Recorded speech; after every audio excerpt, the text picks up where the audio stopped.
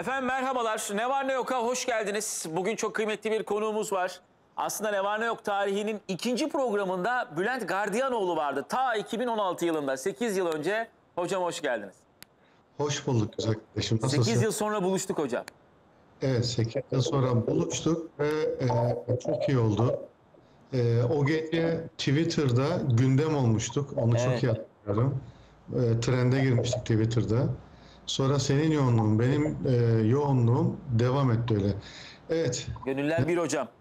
gönüller bir kesinlikle. Hocam şimdi özellikle dünyayı yöneten sistemlerin insanlar üzerindeki zihin manipülasyonlarını biraz konuşalım diyoruz. Nasıl bizi manipüle ediyorlar, nasıl zihnimizi blokluyorlar? Buradan başlayalım hocam. Benim asıl uzmanlığım teknoloji ve teknoloji olduğu için e, bu sistemin içerisinde teknolojiyi geliştiren, üreten ve satan insanlarla tanışma fırsatım oldu.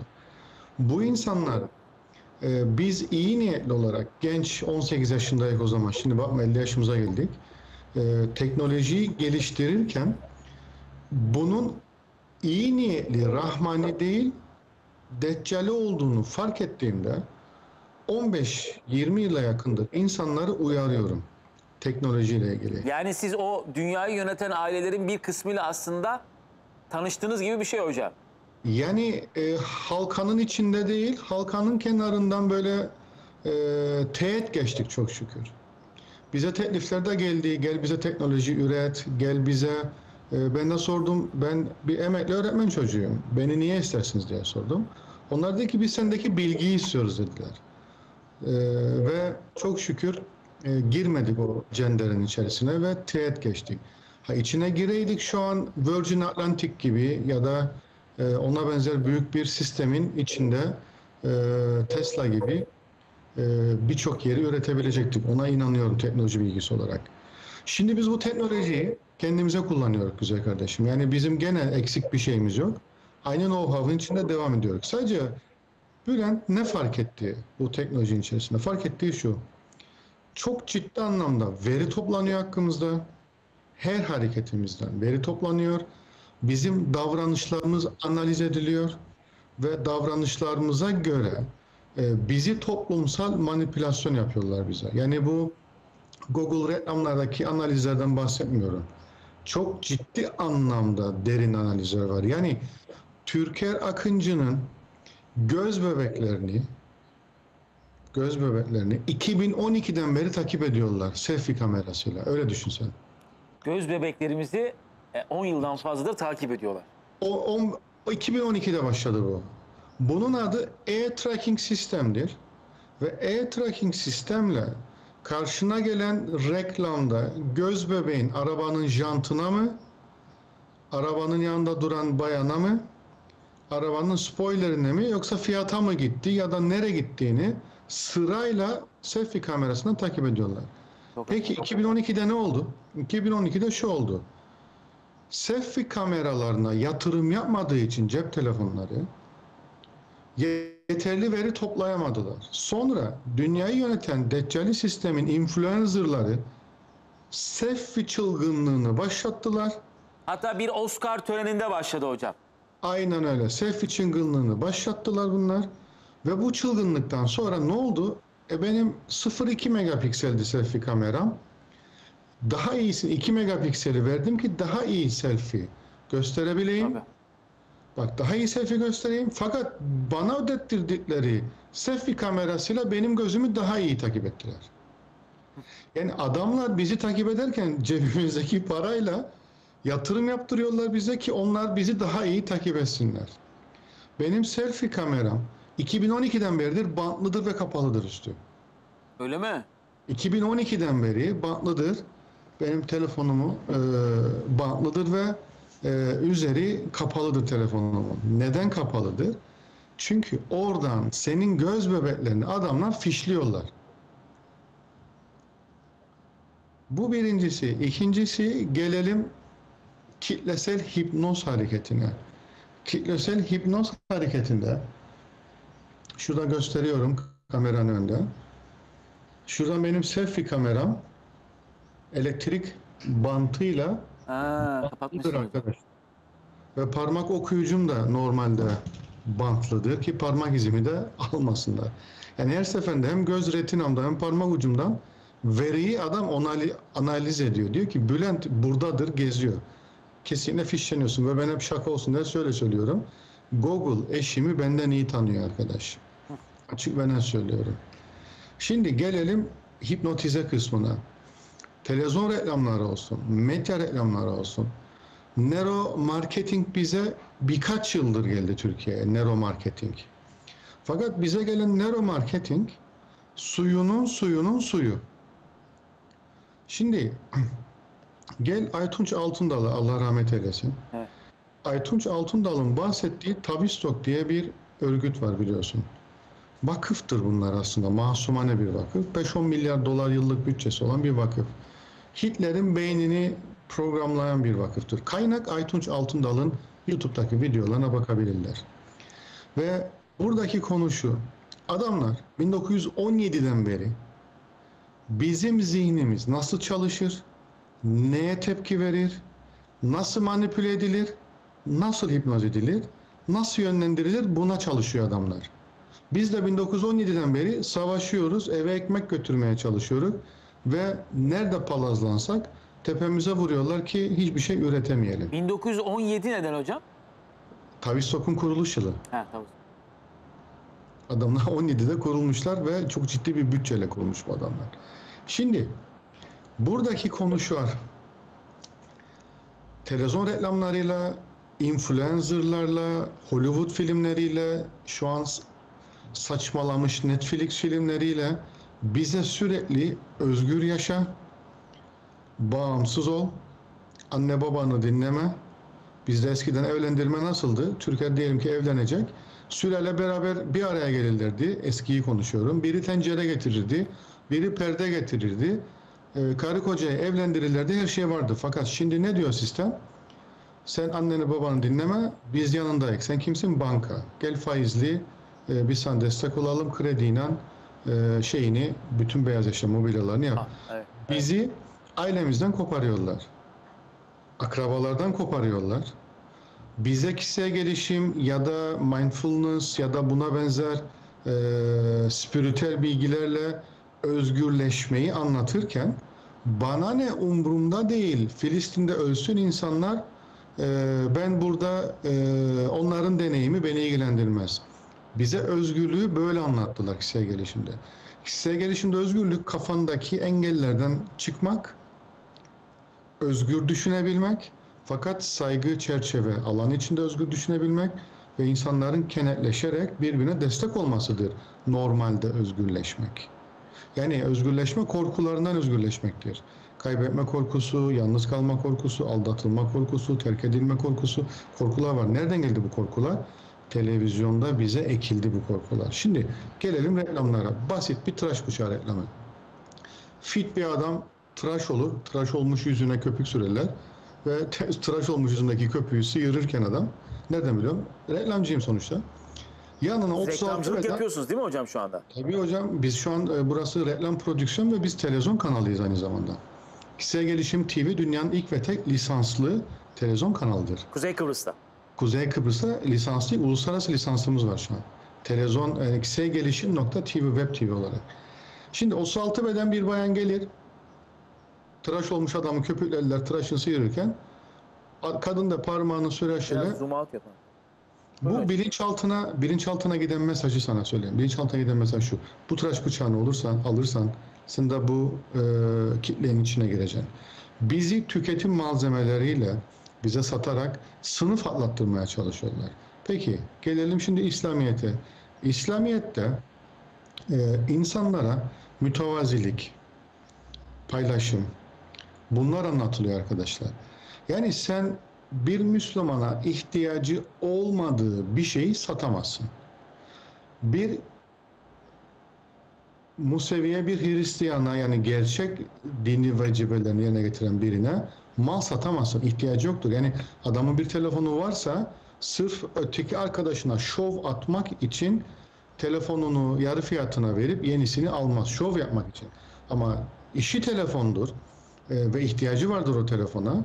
E, o telefonu ihtiyaçlı ihtiyacı varsa kullanmaya alır. Bunda bir problem yok. Şimdi bize sosyal medyayı ve televizyon reklamlarını kullanarak algı oluşturuyorlar kafamızda. Sen de bu telefonu al, bu arabayı al ve sınıfında, üst sınıfta yerini garantile. Evet. Tüketim yaptırarak bize bunu yaptırıyorlar. Şimdi gelelim başka Mesela bir... elektrikli otomobilleri çok fazla pompalıyorlar. Sanki elektrikli otomobil almak çok böyle teknolojiyi yakalamak, yeni çağı yakalamak gibi hissettiriyorlar insana. Hocam e, elektrikli otomobili eğer kendi güneş üniteniz yoksa, kendi üretim sisteminiz yoksa elektrikli arabayla benzinli araba arasında bir fark yoktur. Yani kendin üretmiyorsan elektriğini e, elektrikli arabanın hiçbir farkı yok. Evet elektrikli araba daha teknolojiktir. Fakat enteresan nokta şu elektrikli araba 1890'da çıktı. İlk çıkan arabalar elektrikliydi. Öyle mi? Tabii 1890'da çıktı el- elektrikli arabalar. Ve bu elektrikli arabalar ortadan kaldırıldı. Yerine e, buharlı, benzinli arabalar gelmeye başladı. Evet, buharlı başladı sonra doğru. Evet, buharlı ve benzinli arabalar başlamaya baş, e, üretilmeye başladı. E, şimdi işin geleceği elektrik da değil, hidrojene doğru gidiyor. Onu sana söyleyeyim. Hmm. Hidrojenle ilgili. Fakat benim bu programda vurgulamak istediğim kitlesel hipnoz nasıl yapılıyor? Şimdi sorum şu. Türker Akıncı'nın programına konuk olmuş. Bana 5 tane sözü etkili Mete Yarar gibi sözü etkili 5 kişi söyle bana. Abdullah Çiftçi, Ramazan İki. Kurdoğlu, 3 üç. Sizi sayalım hocam, dört. beni saymadı. Öyle. Başka Mustafa Kurnaz dedik, dört. Mustafa Kurnaz bir kişi daha say bana etkili böyle. Ya hepsi, Farkında yani. konuklarımızın hepsi etkili. Şimdi ayrım yapınca da sanki şey gibi oluyorum. Eyvallah. O öyle hissediyorum. Siz söyleyin bence beşinciyi. Hakan Tamam. Demir dedik hocam mesela. Hakan Demir. Hepsi etkili. Hiçbir itirazım yok. Saydığın isimlerin hepsi uyanık, yani uyanmışlar, farkındalar ve anlatmaya çalışıyorlar. Peki, bu insanları Türkiye'de 80-90 milyon insan, dünyada e, Türkçe konuşan 1 milyar insan var. Mete Yarar'ı 1 milyar insan takip etmesi lazım. Ramazan Kurtoğlu'nun 1 milyar insan takip etmesi lazım. Niçin faydalı insanları az kişi takip ediyor ve bir işe yaramayan influencerlar milyonlar peşinde. Neden hocam? İşte 15 yıldır anlatmaya çalıştığım bu. 15 yıldır bizim kafamıza doğru bilgiyi adamlar yok edemiyorlar ortadan. Bak Google'a gir doğru bilgiyi yok edemiyor. Fakat doğru bilginin yanına 1 milyon tane nefsimize dokunan bilgi paylaştığında insanlar doğru bilgi yerine insanlar arzularını ve duygularını yönettiği bilgilere gidiyor. Arzu ve duygular ne yönetir? İki tane bilinçaltı tehlikesi var. Cinsellik ve ölüm. Dikkat et. Algı operasyonda kullanılan içerikler ya cinsel öğelidir ya da ölüm ya da korku öğelidir. Yani onun sonunda ya cinsellikle ilgili yakalar seni ya da korkuyla yakalar seni. Korku sarar ama bunu yapmazsan böyle olacak. E İşte e, yumurtayı böyle haşlamalıymışız. 30 yıldır haşlıyorsun normal bir şekilde yumurtayı. Farklı bir şekilde haşlaman gerektiğini ikna ediyor seni ve korku salgılıyor sana. Bu ister din olsun, ister sağlık olsun, ister başka bir teknoloji olsun, herhangi bir şey olsun korkuyla ya da cinsellikle ilgili öyle içerik pompalıyorlar ki sosyal medyaya. Sen Mete Yarar'ı, Ramazan Kurtoğlu'nu, Abdullah Çiftçi'yi bulmakta zorla, eşleşmekte zorlaşıyorsun. Tabii, Çünkü tabii. e, amaç bu. Yani e, elması alıyorlar ve samanlığın içine atıyorlar. Arada bul arkadaş. O yüzden benim inancım şu, Abdullah Hoca'nın, e, Ramazan Hoca'nın, ee, diğer bütün hocalarımızın milyar takipçisi olması lazım. Çünkü bu insanlar hakikati ve gerçeği uyanmaya konuşuyor.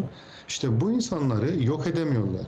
Abdullah eee Aytunç Altundal hariç bu insanları kaldırmıyorlar ortadan. Sadece ya itibarlarına dokunuyorlar ya e, anlattıkları bilgilere e, şey diyorlar.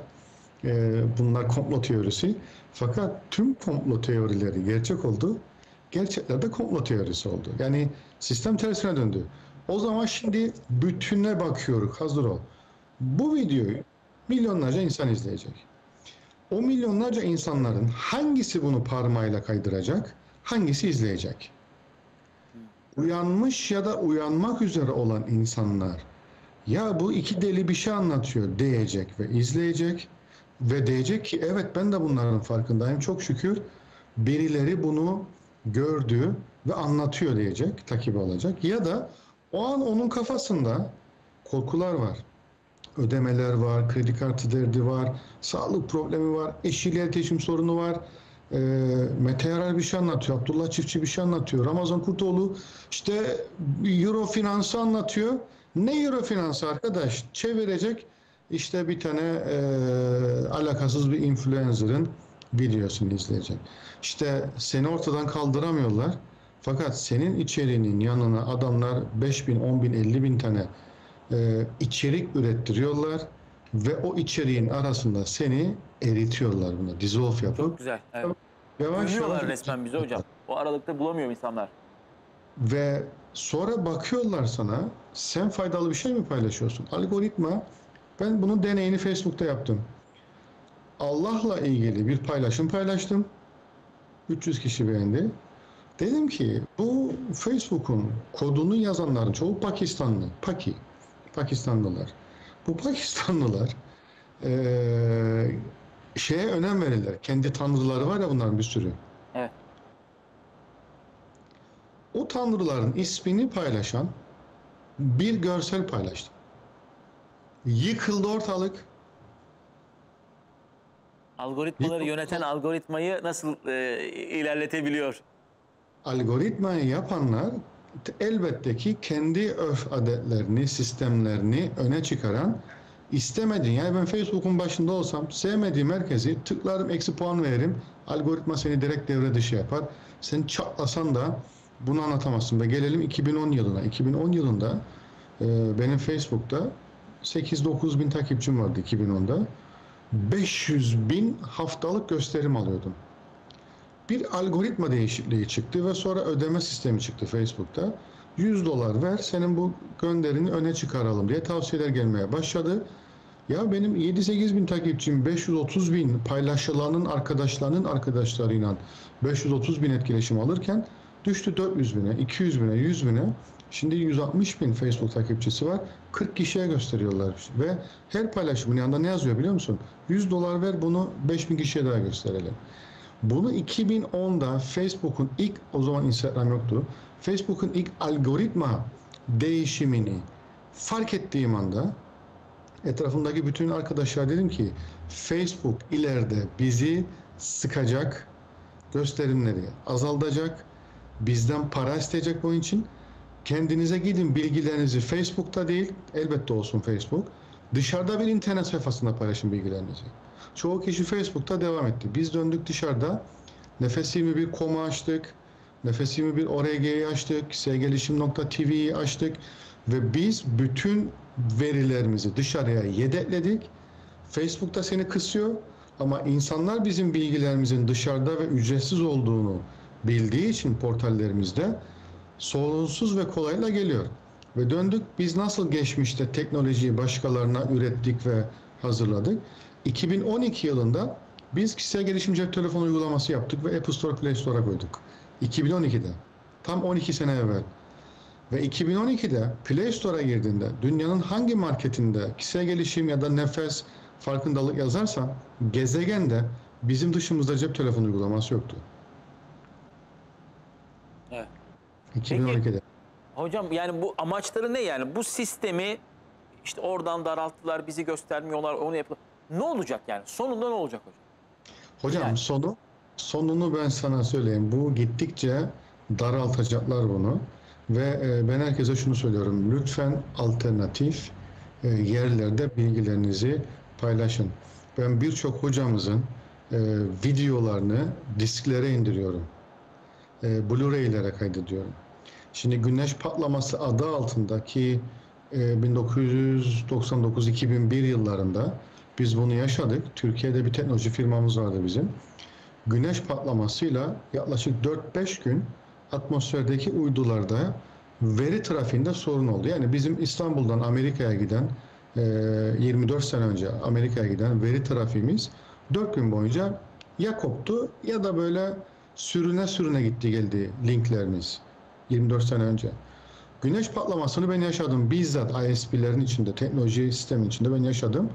Veri kaybı yapmıyor bilgisayarda. Ama şimdi The Great Reset adı altında yaklaşık ben 10 yıldır söylüyorum.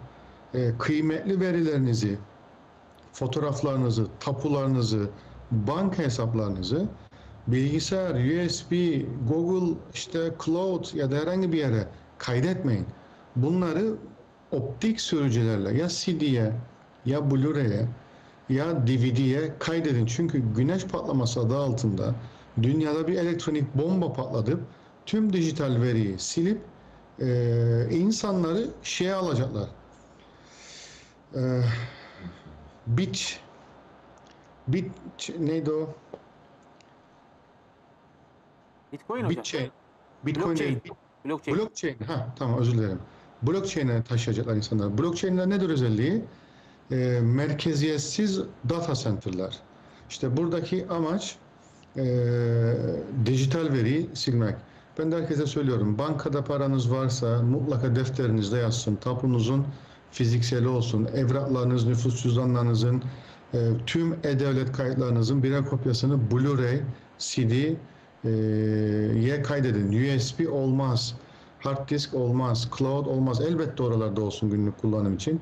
Ama The Great Reset'le bu dijital bombayı patlattıklarında dünyadaki birçok verinin silineceğini düşünüyorum. Ama buna güneş patlaması adı altında diyecekler. Ya da Great Reset'i diyecekler ki gene kendilerinden 4-5 tane hacker korsan bir virüs çıkaracaklar. Bu arada en iyi virüsü kim yazar?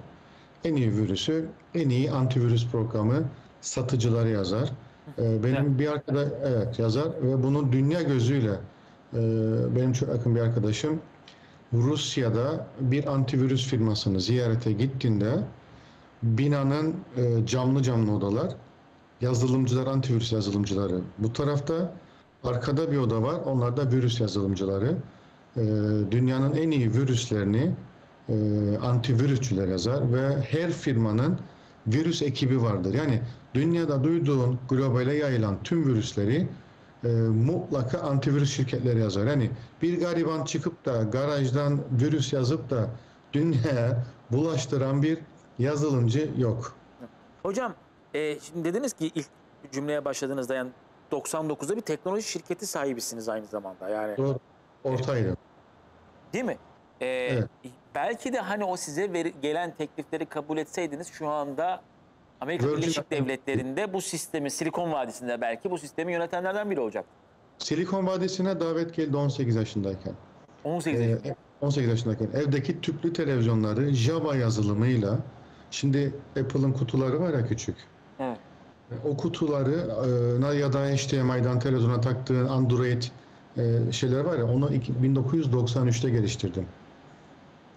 93'te. 93'te. Ne yaptınız hocam siz? Hocam sana söylüyorum ben 75'te doğdum. Kıbrıs, e, Turgut Özal Kıbrıs'a gelene kadar çok ilerideydi. E, inanılmaz teknoloji yatırımlarımız vardı. Sonra Turgut Özal geldi, buradaki bütün fabrikaları söktü, Türkiye'ye götürdü. E, siz üretmeyin, biz size göndeririz dedi. O günden sonra Kıbrıs eksiye doğru gitmeye başladı ama e, biz 1980'de renkli televizyonumuz vardı. 82'de de VHS videomuz vardı. E, video kameralarımız vardı. Bilgisayarlarımız vardı. E, burada e, yüksek teknolojili BBS'lerimiz vardı. BBS'i hatırlar mısın? BBS BBS burada insanlar evlerine server kurarlardı. Üstüne bir modem kurdu. Sen o numarayı çevirdiğinde BBS'teki diske bağlanıp oradan dosya indirirdin, dosya yüklerdin. Bizim 97-98'de hatta 95'lerde BBS'lerimiz vardı. Ee, ve biz oradan bağlantı kurardık. Ben ilk e-mailimi 93'te attım Amerika'ya. O zamanlar e-mail şöyle giderdi. Ben e-maili yazardım e, buradan. E, Bilkent'e giderdi Ankara'ya. Oradan admin okurdu senin mailini. Yollardı Amerika'ya. Amerika'daki üniversitedeki admin okurdu maili. İçerideki hocaya yönlendirirdi. Evet yani Ankara'da Bilkent'te, Türkiye'de Bilkent'te Evet. gidiyordu. Bütün Biz internetin merkezi Bilkent- orasıydı. Evet, Bilkent'le biz 93'ten beri e, çok çalıştık. E, Peki hocam oradan- Silikon Vadisi'ni kabul etmediniz. Neden kabul etmediniz? Eğer etseydiniz mesela o sistemi yönetenlerden biri olsaydınız nasıl düşünürdünüz? Hocam e, çok tekin değil bu konudaki kendime güvenim. E, yerin 5 kilometre altında uzaylı DNA'sı izleyen bir manyak olurdum. E, inceleyen. O yüzden e, gitmediğime çok mutluyum. Çok mutlusunuz.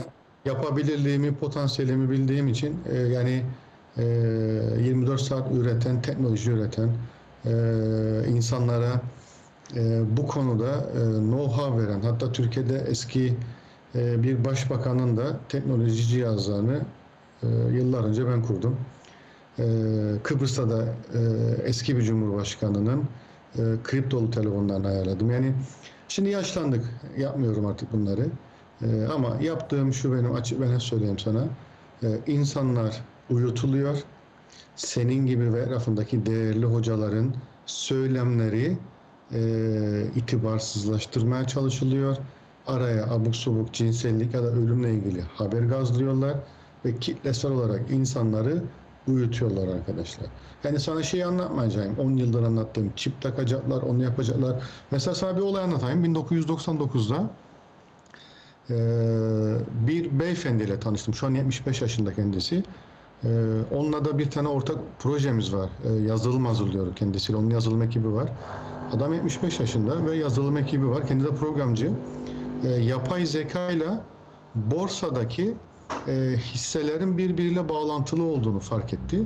Ve kendi yazdığı yapay zeka ile bir gün önceden hangi hissenin düşüp yükseleceğini %80 başarıyla gösteriyor bu adam. 75 yaşında. Bunu eğlencesine yazdı artık.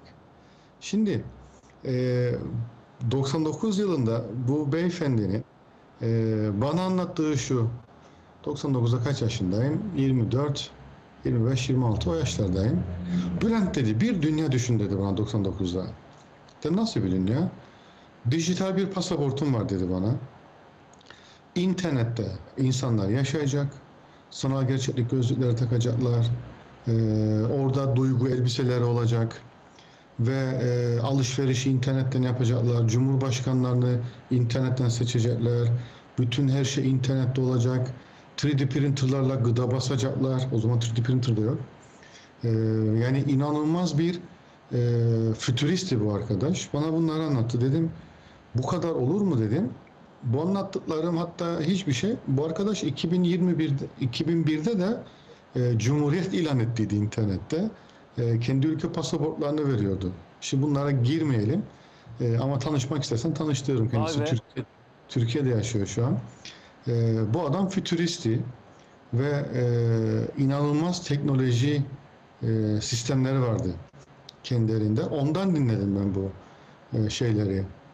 İnsanların internette yaşayacağı, internette gelişeceği. Bu arada Türkiye'de Onitron diye bir firma vardı. Perpa Alışveriş Merkezi'nde. Şu an Fransa'ya gittiler. Ee, 93 yılında e, endüstri ürünleri tasarımı okuduğum için 3D Studio programıyla çok iyi modelleme yapardım 93'te. Üç boyutlu binalar çizerdim 93 yılında. Ee, Onitron firmasında e, Musevi bir adam vardı. Adını da unuttum çocuğun ama Fransa'da onlar şu an. Onitron yazın, Fransa yazın. Ee, sanal gerçekliğe onlar devam ediyorlar. Ee, onların ilk prototiplerinde ortak çalışmalar yaptık. Neydi yaptığımız ortak çalışma? Ee, 93'te gözlük takıyordum insanlara. Eldiven veriyordum 93'te.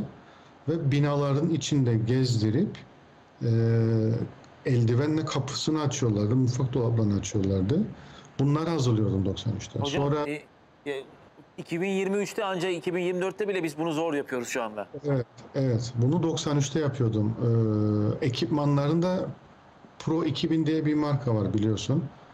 Ee, onun oradan e, ben ellerimle kurduydum bütün serverleri, her şeyi. Şimdi hocam biz teknolojiye girdik, içinde yaşadık. Ee, tekrar söylüyorum. Ee, bizim üniversitede Profesör Aslan hocamız vardı. İnşallah hayattadır. Ee, Aslan Hoca bize şey derdi, çocuklar derdi kullanmayacağınız düğmeye para ödemeyin. Biz endüstriyel tasarımcıyık. Kullanmayacağınız düğmeye para ödemeyin. İnsanlara çıkıyorlar bulaşık makinesi 40 program. Arkadaş e, büyük bir hevesle alıyorsun 40 programı ama hep sen bir tane de kullanıyorsun. Çamaşır makinesi alıyorsun. Tüllüler için program, danteller için program, bebek alerjisi için program. Ama 3 gün hevesle bir kuruyorsun 3,5 saat bir bebek alerji programı. Dönüyorsun 30 dakika pratiğe koyuyorsun. Yani kalan ömrünü 30 dakika pratikte geçiriyorsun. E ben niye verdim 40 tane programa es, ekstra dünya kadar para? Hocam Telefon- peki şimdi ne öneriyorsunuz mesela bu son sorum olsun. Ee, gençlere, insan ebeveynlere yani bu teknolojinin bütün izimizi bıraktık artık biz. Ya bundan sonra ne yapabiliriz peki yani ne öneriyorsunuz? Hocam bak şöyle söyleyeyim sana çok kıymetli bir ipucu. Anne babalara söylüyorum. Evladınız bilgisayarın başından kalkmıyorsa, bilgisayarı yalayıp yutmuş online oyunlar oynuyor, işte savaşlar yapıyor bilgisayarın içinde her şeyi çözdüyse bu çocuğu yazılımcılığa yönlendirin. Bak yazılımcılığa yönlendirin. Örnek vereyim. Ee, T3 Vakfı'nı biliyorsun değil mi? Evet. Ee, Bayraktar ailesi. T3 Vakfı'nın. Ee, T3 Vakfı'ndan mezun olmuş e, bir çocuk var ekibimizde. On- 16 yaşında bu çocuk. Bu çocuk 5 tane mühendisin çözemediği yazılım problemimizi bir gecede çözdü. Dedim sen nereden eğitim aldın? Ben T3 Vakfı'ndan 4 yıl dedi kodlama eğitimine gittim. Yani illa T3 Vakfı olmak zorunda değil. Tekrar söylüyorum. Çocuğunuzun bilgisayar bağımlılığı varsa ve beceriyorsa hani sakın kullanma deme. Ben 9 yaşından beri bilgisayarın başındayım. Hesapla artık. 84'ten bugüne kadar kaç yıldır ben makine başındayım. Yani bir sıkıntım var mı? Yok. Gözlükle kullanmıyorum. Sağlığım yerinde, keyfim yerinde. Ve kullanıyorum ama kendi ihtiyaçlarım için kullanıyorum bilgisayarı. Ve etrafımdaki insanlara da söylüyorum. Çocuğunuz iyi kullanıyorsa yazılımcılığa. Ama görsel yeteneği varsa sosyal medya yönetimi, e, görsellik buraya yönlendirin. Buraya yönlendirin. Şimdi bu birincisi. ikincisi anne babalara tavsiyem şu. Evde yaptığınız her kavganın sonunda çocuk sizden uzaklaşır. Ve çocuk sizden uzaklaştıkça nereye gider? Teknolojiye gider. Sonra sonra çocuğunun yaptığı paylaşımlardan o çocuğun mutsuz olduğunu fark eden terör örgütleri var. Ve çocuğunla başlarlar özelden muhabbet kurmaya. Çocuk öfkeli olduğunu biliyorlar çocuğun. Bu çok Ona arkadaş ol. Evet. Bunu bir tane Kıbrıs'ta biz yakaladık. Öyle mi? Kız anne babasından kaçıp eee, İra- İran'ın kuzeyindeki Kürdistan demeyeceğim eee, terör bölgesine PKK'ya katılmak için gencecik üniversite çocuğu ya düşünsene. İkna etmişler. Kızın bütün problemi şu anne babayla kavgalı. O yüzden çocuğunuzla yaptığınız her tartışmada, çocuğunuzun yaptığınız her paylaşımda dışarıdaki kötü niyetli insanlara kendinizi adres gösteriyorsunuz. Bu evde huzursuzluk var. Çocuğumla özelden iletişim kurup beynini yıkayıp götürebilirsiniz. Ve bir de 2000'den sonra doğan çocuklardaki en büyük tehlike cinsiyetsizleştirme tehlikesi var. Özellikle anne babalara uyarıyorum. Çok ciddi bir ipucudur bu. Çocuğunuz Güney Kore yayınları izliyorsa, Güney. Kore klipleri izliyorsa, K-pop ya da oradan bir şeyleri izliyorsa, kız çocuğuysa erkeğe benzemeye başlıyor, erkek çocuksa kıza benzemeye başlıyor. Bakın direkt bunlar zararlıdır. İzlemeyeceksinle karşılarına gidersen seni düşman alırlar, yayını tercih ederler. Çünkü Güney Kore yayınlarının hemen hemen hepsinde subliminal mesaj ve çocuğa cinsiyetsizlik pompalanıyor. Dikkat edin buraya. Bizim Biz bu- ülkemizde Güney Kore sempatizanlığı var. Amenna. Zaten Kore şehitlerimiz var bizim. Bu çok ayrı bir şey ama Güney Kore şu anda küreselcilerin e, en büyük uygulama merkezi. Küçük Amerika. Hani bilmeyenler için. Prototip hocam orada. Evet, orada tam bir Tanrı ülke. Ne ararsanız var Güney Kore'de. ve orada Tanrı ne biliyor musun? Hello Kitty. Hello Kitty sembolü var ya oranın tanrısı Hello Kitty. Herkes Hello Kitty ile geziyor orada. O yüzden arkadaşlar evladınız teknoloji bağımlısıysa yazılımcılığa ya da Photoshop tarzı görselle yönlendirin. İnanın başaracak.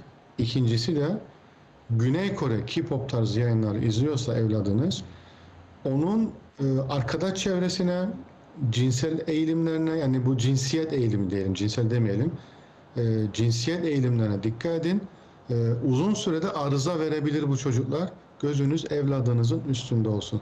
Bir de evladınıza evde güvende olduğunu söyleyin. Yani anne baba o çocuğa şımartmak yerine bu evde güvendesin, senin yanındayız ve iyi ki doğdun, iyi ki buradasın, iyi ki bizimle. Bu güveni de telkin etsinler çocuklarına hocam. Eyvallah hocam. Çok teşekkür ediyoruz hocam. Biz teşekkür ederiz hocam. Ee, biz her zaman yanındayız. Sana güvenerek, çıkarttığın insanlara da güvenerek. Allah razı olsun. Benim 15 yıldır bütün çabam şu, Türker Akıncı ve senin gibi Akıncı beylerinin, bana göre Akıncı beysiniz, daha iyi algılanabilmesi için toplumdaki uyutulma hipnotizesini kaldırmaya çalışıp uyandırmaya çalışıyoruz. Benim yaptığım bu. Allah razı olsun hocam. Çabalarınız Peki. için minnettarız. Çok teşekkür ediyoruz. Biz de güzel kardeşim. Yine yapalım en yakın zamanda inşallah. Ne zaman istersen emrindeyiz. Eyvallah. Estağfurullah hocam. Efendim sizler de videonun altına yorumlarınızı mutlaka yazın. Like etmeyi unutmayın. Abone olmayı unutmayın tabii ki. Ne var ne yok YouTube kanalında yeni videolarla görüşmek dileğiyle. Hoşçakalın.